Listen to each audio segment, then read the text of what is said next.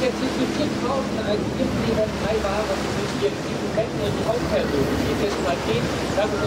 Tor. Äh, Tours Abschied, der rückt immer näher. Das heißt, wir sind ganz fleißig am Üben, dass das Tier in die Kiste geht, dass das so wenig Stress wie möglich hat. Ähm, das heißt, die Kiste, die steht hinter den Kulissen bereit. Wir gehen jeden Tag mit ihm da rein. Für uns Pfleger bedeutet das natürlich schon ein schmerzhafter Abschied, denn Thor ist was ganz Besonderes. Der ist hier bei uns geboren. Es waren einige von unserem Eismeer-Team live dabei und er ist hier natürlich groß geworden. Fast sechs Jahre hat er hier gelebt und wir haben viele Sachen mit ihm mitgemacht, gute und schlechte.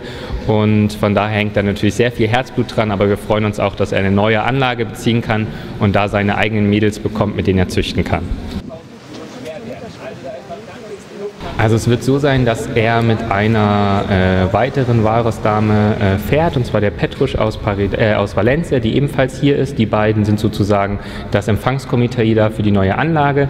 Die starten da zusammen, die kennen sich mittlerweile auch sehr gut, die haben sich hier äh, sozusagen schon lieben gelernt. Und äh, außerdem kommt ein Pfleger von uns und ein spanischer Pfleger mit dahin. Ganz viel Spielzeug und Enrichment-Sachen, die ihn natürlich dann auch, wenn er mal nicht so glücklich ist, glücklich stimmt. Und eine niegelnagelneue Anlage, die er dann erkunden kann.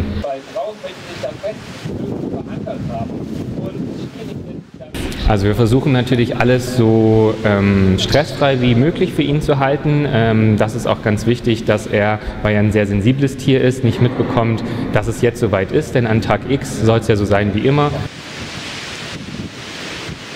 Und erst wenn das Tier in der Kiste ist, dann kommt auch der LKW und alles andere, sodass er eigentlich nicht viel davon mitbekommt. Also die Anlage, äh, die Tor da beziehen wird, ist niegelnagelneu. Das heißt, ähm, das Wasser ist schon drin, das ist alles eingefahren, die Technik ist drin, aber bis jetzt gibt es da noch kein Walross, was rumschwimmt. Also Tor wird das erste Walross sein, was diese Anlage betritt. Und äh, es wird eine große Anlage, es wird Unterwassereinsichten geben und ja, wir hoffen, dass eben, dass da sehr viel Spaß macht.